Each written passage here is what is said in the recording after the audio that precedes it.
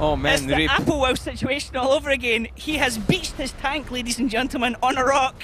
We're trying to move in here with the free cam to give you a better view. He cannot move forward or backwards. His wheels are off the ground. Please, please. What a way Not to end the like match. this. Not it's go like hard. this. Go hard. They're all trying to position in for the shots. Yizny, he's just he's just waiting for it to happen. He's just waiting for it to go. This is an outstanding end to this match. Absolutely crazy. And go and hard. Dan is going to pick up Pashka too. Danny has to be careful. Figo is there as well, though. Danny, can he do it?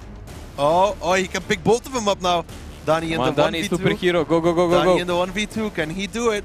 Come on. Oh, there's the first. go. Oh, and the low roll. Danny, can he pick up number two? Danny? As he Nice! Danny! Nice!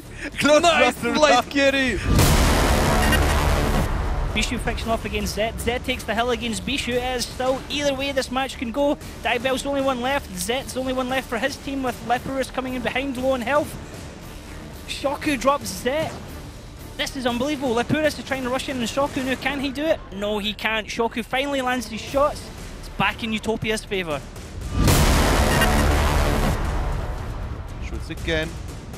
And there he goes! what the 1.2k connection. by the RT. Like we said, Prosto is not safe there. That's the power of the Lorraine RT. It's what I've been waiting for as well. He is not safe. He is in a lot of trouble now. They will just collide. And there we they go. Diplomat picks up Prosto in that artillery piece. This is what we've been waiting for. Finally, that artillery piece coming into effect here. Now Kaizu has entire control there. Finally, that Lorraine RT and again Diplomat picks up Pashka now. It's going to be very vital that both, all three of them stick together.